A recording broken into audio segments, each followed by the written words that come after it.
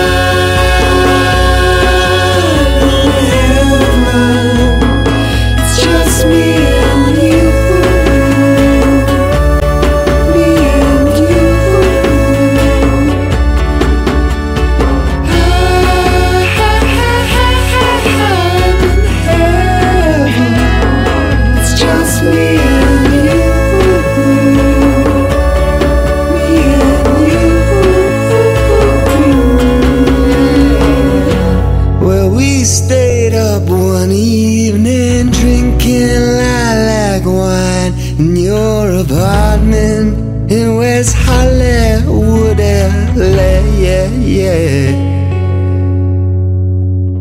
That Kundalini energy ran up my spine as you sat down and tuned your guitar to play.